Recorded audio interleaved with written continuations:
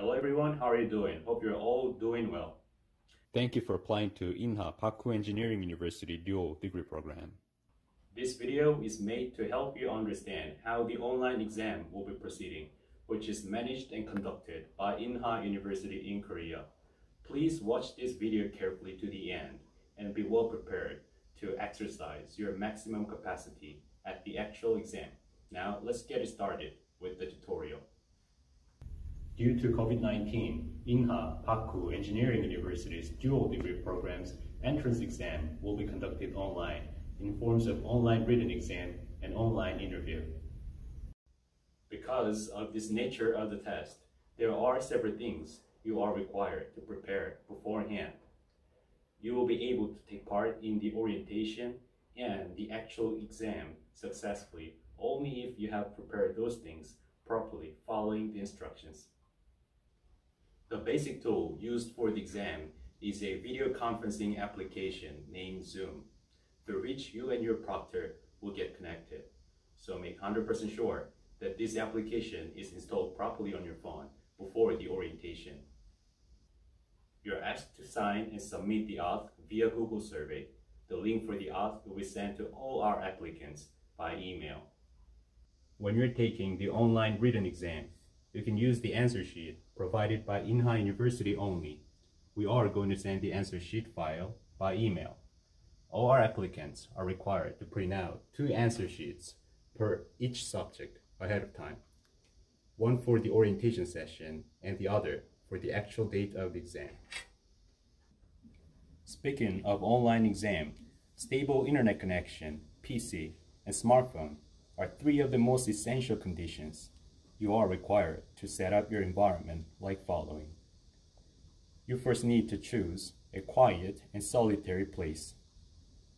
When choosing a place for the exam, make sure it is enclosed by walls, or at least by partitions, therefore affording no open space including windows in front. You will not be allowed to proceed if you fail to follow this instruction leaving open space on your front side. And then you need to prepare your computer and smartphone with stable access to network. And also be sure to set your place completely solitary. If any other person is seen or heard or noticed in any form or fashion, you'll be disqualified from the exam. You also need to check and make sure your devices and your place don't cause any trouble or glitches, such as electricity cut, or battery shortage, or network disconnection. You also need to check if your mic sounds in a proper volume, and if your smartphone screen rotation is unlocked, which needs to be unlocked you'll be held responsible for the result caused by malfunctions or uncontrolled disturbances stemming from your devices. In addition, using a dual monitor is not allowed. Please be fully aware that for the sake of ensuring fairness in the whole course of the exam, if your network condition becomes unstable, for example, if your video stops streaming or your screen goes black, or if you fail to comply with the given instructions due to your network problems. The proctor is authorized to remove you from the ongoing exam. Then we're done with the test environment setup. Now we're going to show you an actual example of how to place your phone as you hear an instruction from the proctor to do so in your exam. If you have a smartphone holder, it would be much more convenient, but if you don't, prepare two thick books or any two heavy solid objects. Fix your phone between those books. Place it 50 to 60 centimeters away from your chest. And carefully position your smartphone camera at an angle from which the screen includes your face your hands, and your PC monitor all together. Please double check if all those are showing properly on your smartphone camera.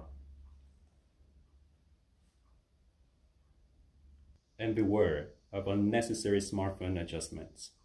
If you touch or move your smartphone in the exam and end up failing to capture your PC monitor or both your hands or your face in the screen, this will lead to your disqualification.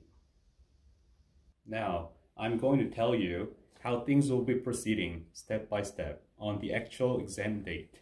You will have a chance to practice and experience the way it goes through the orientation session, but do never forget to familiarize yourself with the rules and methods before taking the exam.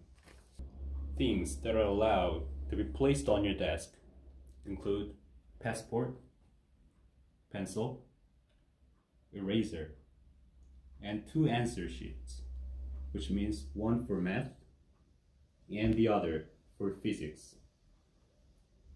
If you are found to have any other item than these, it will be counted as cheating. As informed already, you have to have your computer and smartphone properly in place with a stable internet connection at your own exam site. Come to the online exam site at the appointed time through the link provided by email and wait for your entrance to be allowed. The email will be sent to you about 40 minutes before the exam.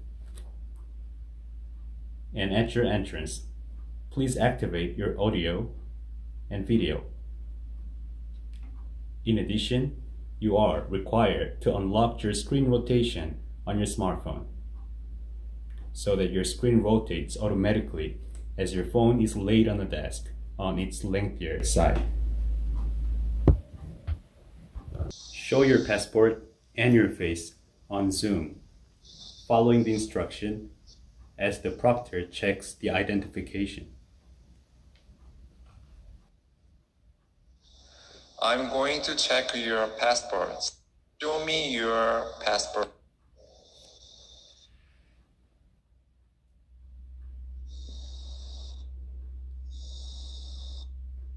Okay.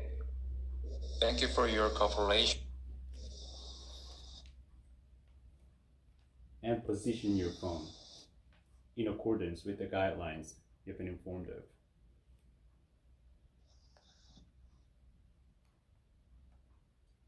If the identification step is completed for all the applicants, the proctor will send the exam file by email.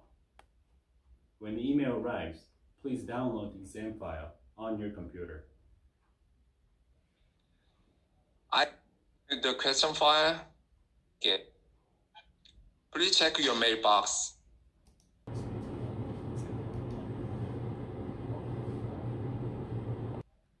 Get the question file.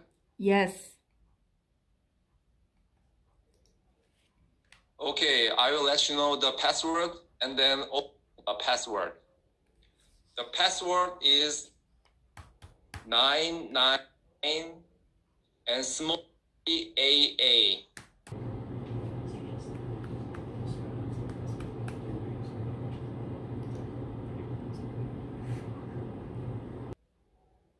After open the, you can start the immediately. Open up the file, following the instruction, and stay ready. The proctor will soon announce the password. Then you begin to solve the questions by unlocking the exam file with the given password.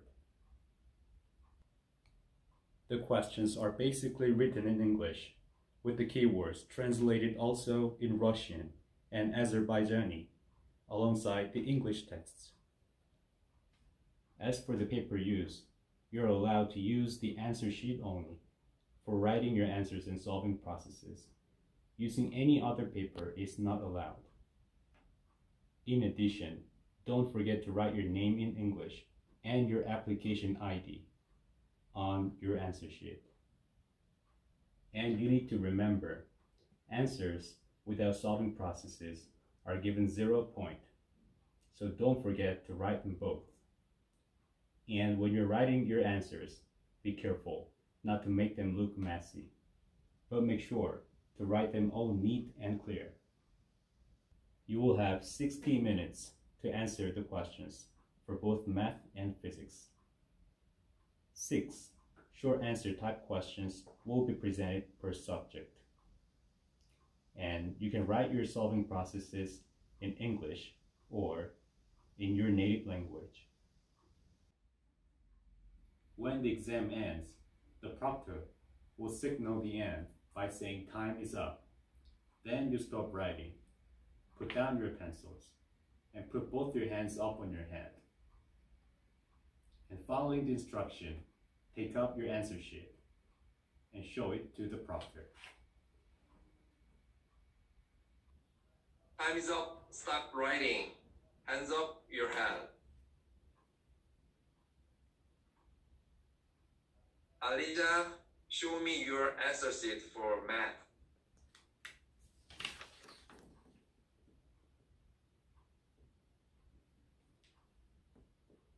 Okay. And uh, next, show me your answer sheet for physics.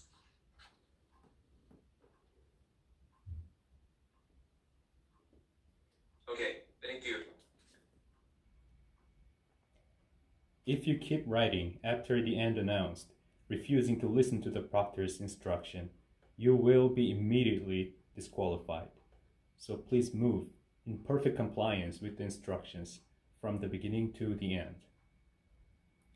And when you are showing your answer sheet to the proctor on your smartphone camera, please double check and make sure that the entire contents are included and showing clearly. If this exposure process is over for all the applicants, the proctor will give you an instruction. Then you will need to take a photo of your answer sheet using your smartphone. When you're taking a photo, be careful not to capture a blurred image and do your best to capture the clearest snapshot possible. And then you send the saved images to your proctor by email.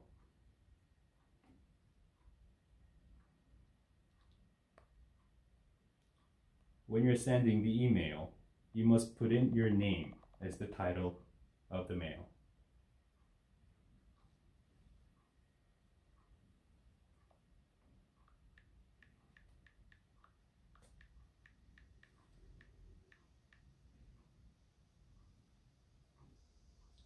As email submissions of the applicants are checked by the proctor, the proctor will announce that the whole examination process is over. Then the applicants can leave the Zoom meeting room. Thus far, I've told you on how the exam begins and ends. Once again, we'd like to ask you for your cooperation and compliance through all this procedure as this whole exam is going online. Be sure to keep those rules and guidelines in mind and follow them as you take the exam. The exam will be recorded all throughout the process and the proctors will not receive any questions while in the exam other than giving instructions. And this is it for the tutorial today. Thank you very much for your attention and I wish you all the best for your exam. Good luck to all of you.